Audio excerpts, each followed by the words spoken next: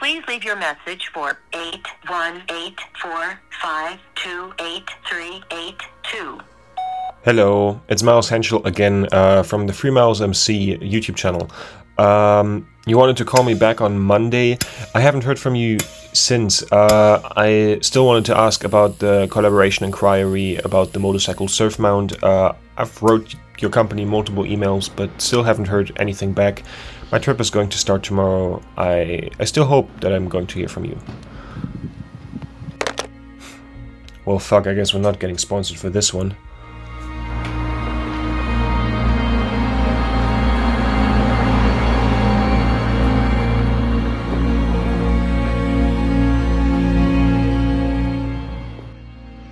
I am Miles. I grew up on the swells of central Germany, or to be more exact, the lack of said swells. In a small beautiful town, small enough that you know everyone. But too big for anyone to actually say hello. 100 years ago, the city decided for a prison instead of a university. It's a city that leaves you searching,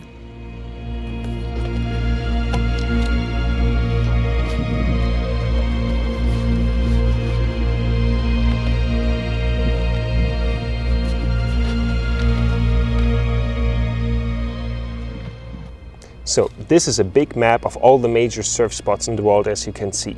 And we're going to focus on Europe.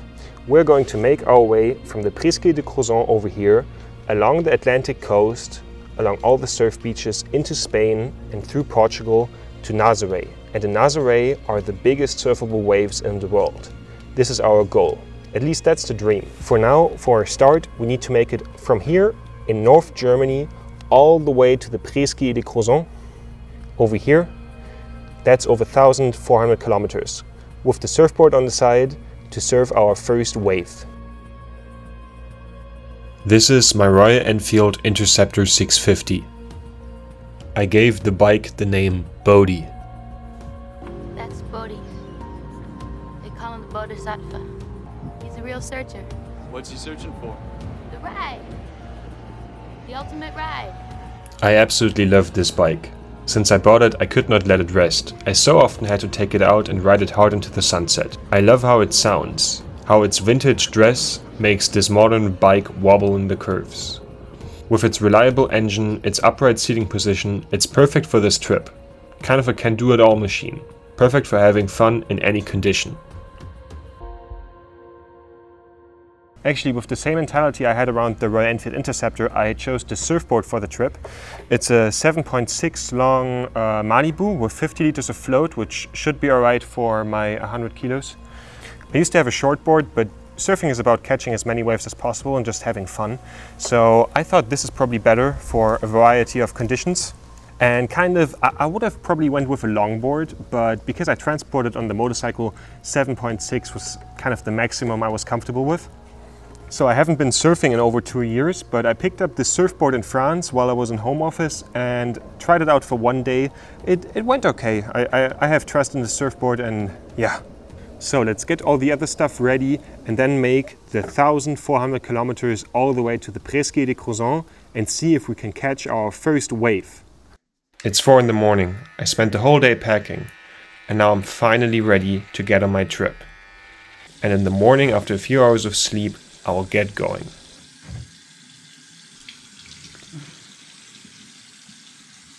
So let's go.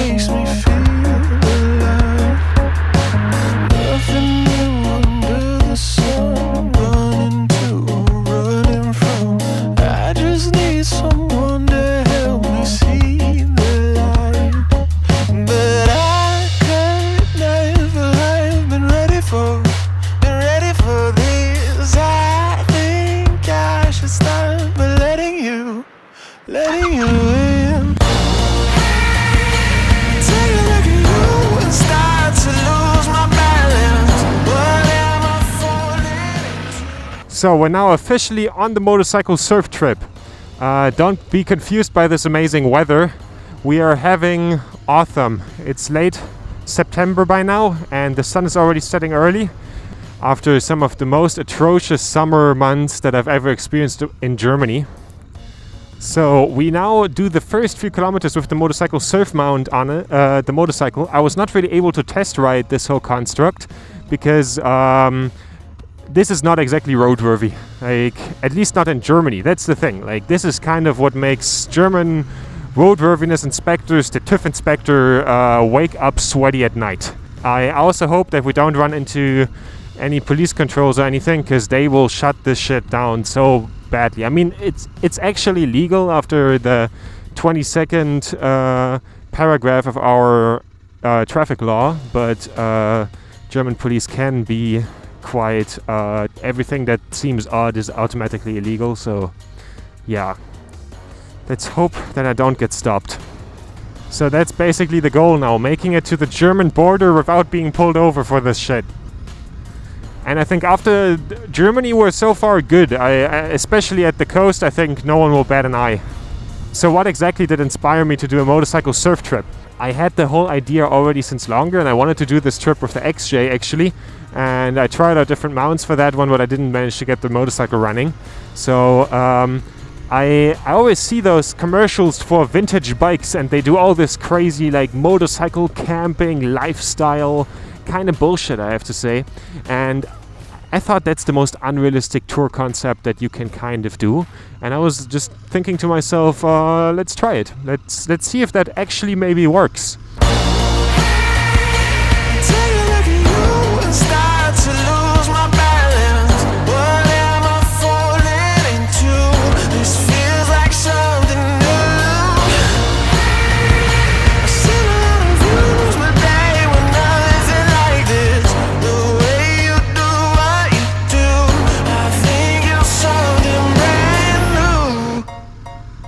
So we're now driving onto the highway.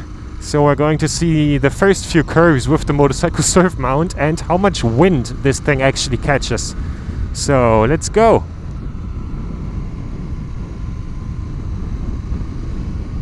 I mean, it does quite fine so far.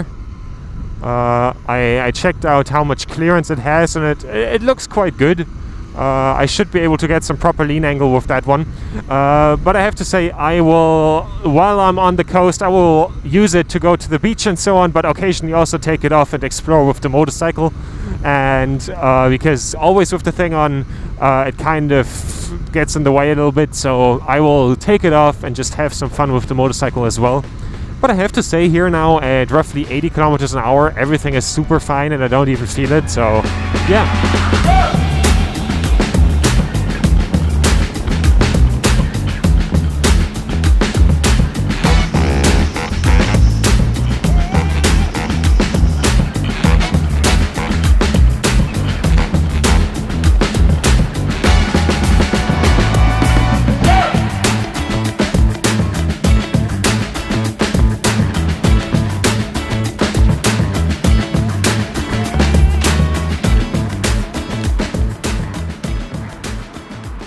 So I just found some shadow behind my surfboard. We made it out of Germany. We're now in Belgium. That is amazing because my biggest worry was to get pulled over by the German police because uh, they're just not playing around with stuff like this. We still have a little bit less than 1000 kilometers to the Presqu'île de Crozon, but I have to say it is really hot for uh, autumn. Like we're having way over 30 degrees. I didn't expect this. um, but so far I'm doing fine. I mean, in summer it would be the same. So let's do some stretches and get back on the road.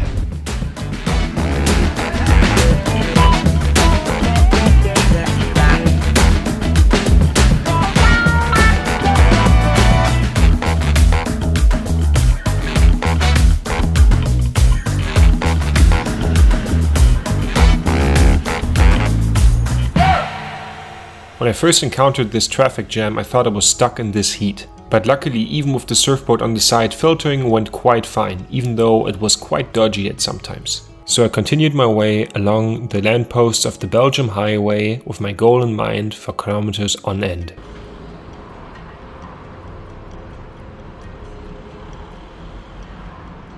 So we're now in France and we're now close to 850 kilometers and soon the sun is setting.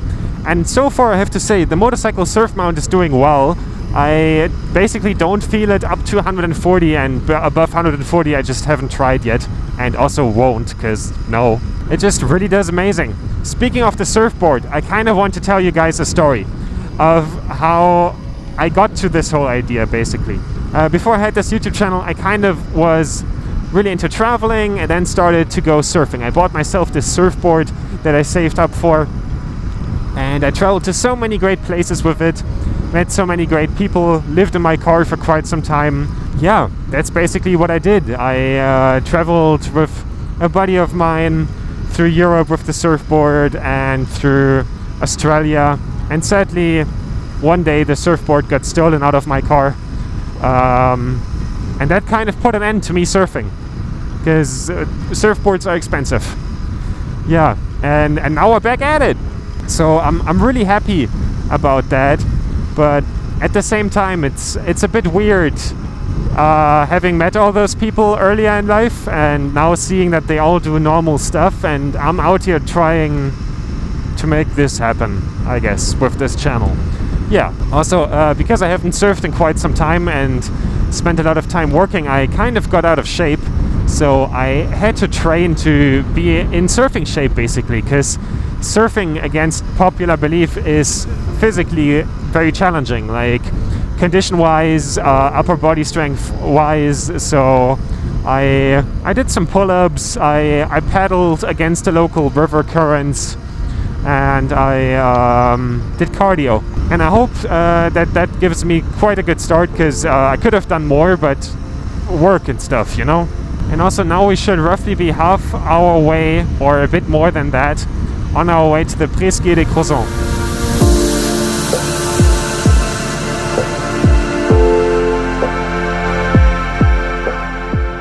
The sun is always setting in the west, and from where I live, all I have to do is follow the sunset to get to the Atlantic Ocean, driving closer and closer to the sun, knowing it will lead me back to surfable waves.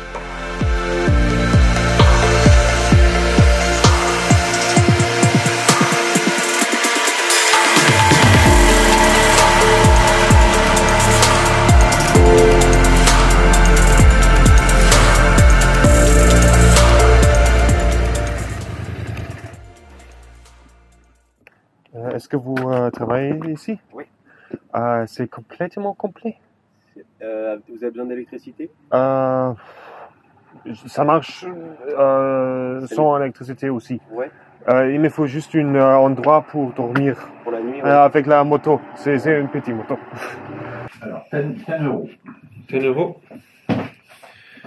Je voudrais euh, payer avec carte. Avec carte Est-ce que c'est possible? Oui.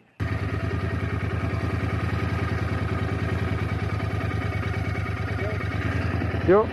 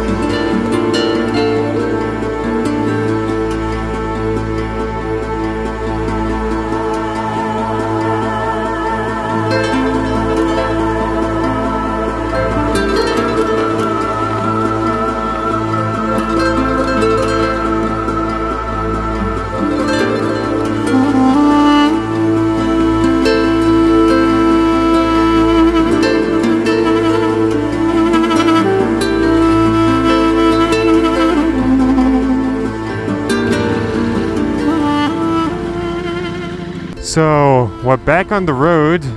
The night was good, even though it rained and it got quite cold. But we now roughly made 1,000 kilometers, and uh, my neighbors said today it will be very windy. So let's see how the motorcycle surf mount handles that.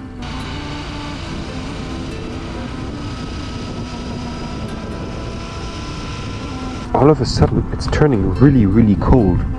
I really have to put on some warm clothes because all of a sudden the weather is realizing it's autumn and not summer anymore.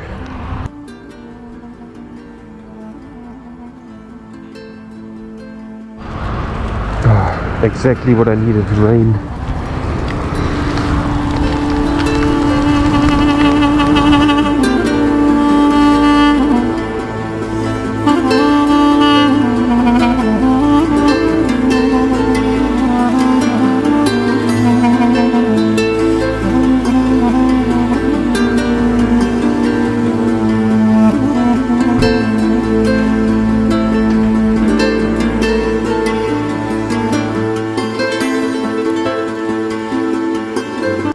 Many kilometers by now, I kind of realized that highway restaurants are their little own little ecosystems. And I wanted to point this one out in particular. Look at this restaurant ad. It's so bad it's good. I mean, it looks like a movie set straight out of some Grindhouse B movie. Somehow, this is one of my favorite landmarks. Speaking of landmarks, the Mont Saint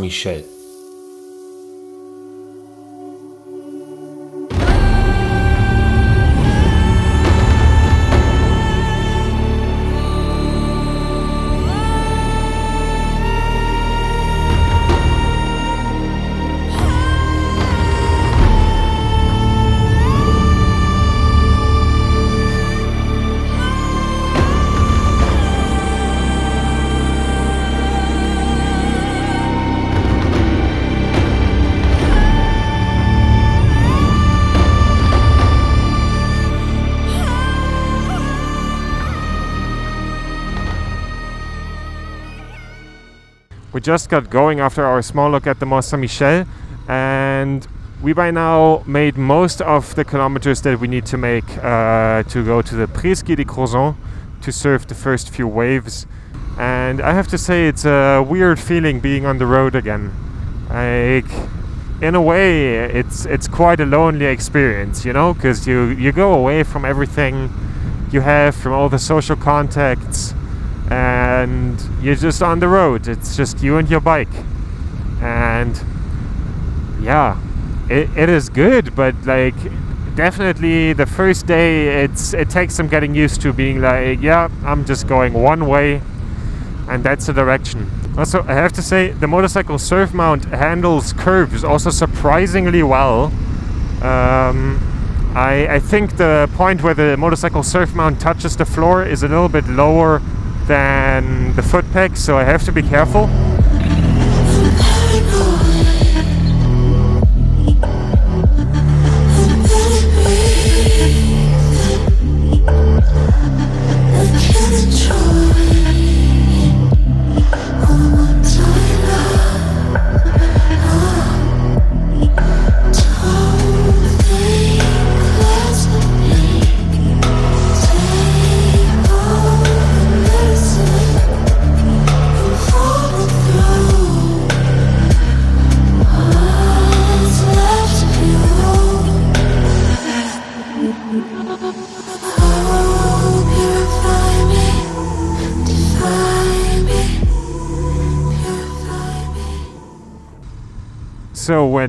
Finally on the narrow roads of the Presqu'île de Crozon and the weather is great again.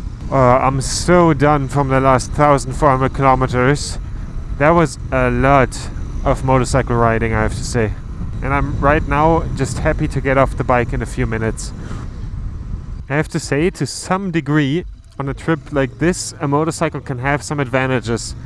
You know, because driving through those narrow roads right here in a big surfer van, like a VW uh, van or something, would not be fun, especially with oncoming traffic like here. And there we have it the Atlantic Ocean. This right here is the Plage uh, de Goyen. It often doesn't really get big waves, it's mostly good for beginners, except for like to one or two days a month. Then it just really gets insane here and you can have some really big waves. But not today. We're probably going to choose another beach for our first little bit of action with the board But here it's uh, it's just a really convenient camping ground that's close to kind of everything on the half island. Ah. But there are some surfers trying their luck out there, even though I don't really see how much sense that is making. Because we're having full tide and there are not really many waves. Yeah, that's kind of the thing about the Presqu'île de Crozon, why it's also nice that we are here now in autumn, is all this has become very, very touristy. I, I used to surf here a few years back when there were no Germans, and, and now it's overrun by Germans. I mean, I'm one of them, so yeah. Like, if it's a good day, there are over a thousand people in the water right here. It's it's really fucking bad. Localism when I, when it comes to surfing just sucks, you know. But here I can absolutely understand it. Like, and and also localism in some ways is happening here. Like flat tires for big vans and so on. So let's hope that the camping ground has room for us so that I can set up camp and then grab my surfboard and go with the motorcycle to the beach and ride the first wave.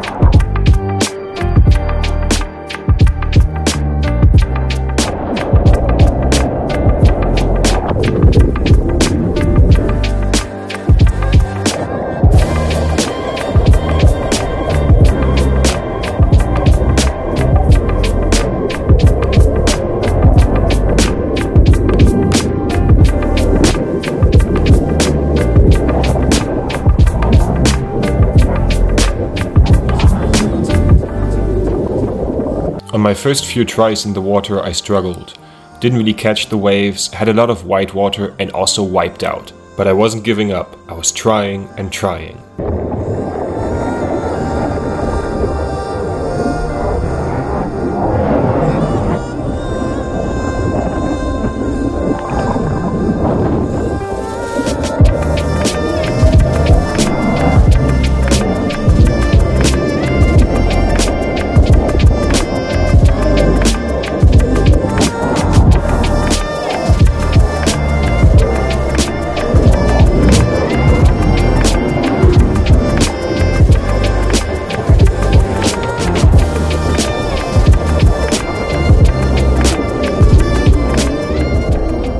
It finally happened, the first proper wave of this trip.